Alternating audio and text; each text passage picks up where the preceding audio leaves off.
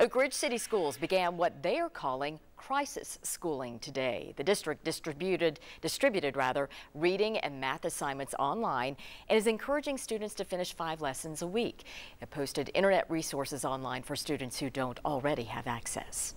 Good morning, Ram Nation. Hope you guys are doing well. Just want to let you know that we miss you. We're thinking about you. We care about you.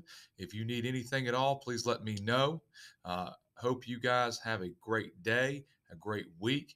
And as always, each and every day, get up every morning and find a way to Teachers and staff at Robertsville Middle School in Oak Ridge, they put together a video telling students that they miss them and they're offering some encouragement.